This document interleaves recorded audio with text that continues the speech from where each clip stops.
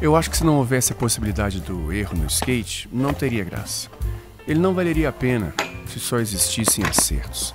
Sabe aquele jogo sem graça que não oferece nenhum desafio? De tão fácil, sem surpresa, se torna monótono, sem graça? A surpresa no skate está em você partir para a manobra sem saber se vai conseguir. E de repente, todos os seus neurônios se organizam na mesma direção para fazer o corpo funcionar e acertar a manobra. Expectativa, frustração e realização. Tensão e relaxamento. A vida é assim: inspirar e expirar. O pulmão se enche, tensiona e se esvazia, relaxa. O coração se expande e se contrai nos batimentos cardíacos que você nem faz ideia de como funciona essa bomba que faz o seu sangue circular levando oxigênio e nutrientes para turbinar aqueles mesmos neurônios que mandaram os sinais, fazendo funcionar cada músculo envolvido no processo de acertar o movimento. Hoje eu consegui acertar algumas, mas nem sempre é assim. Não faz mal não, não tem problema.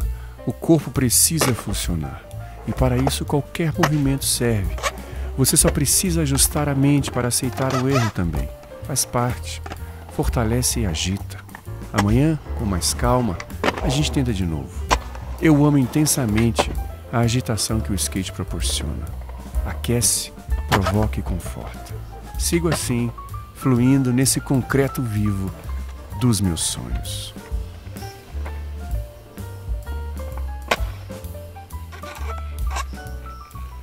Eu quero deixar você com mais um alimento para o pensamento, Cecília Meirelles, Cânticos, página 13.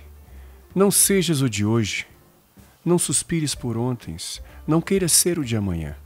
Faze-te sem limites no tempo, vê a tua vida em todas as origens, em todas as existências, em todas as mortes, e sabe que serás assim para sempre. Não queiras marcar a tua passagem, ela prossegue.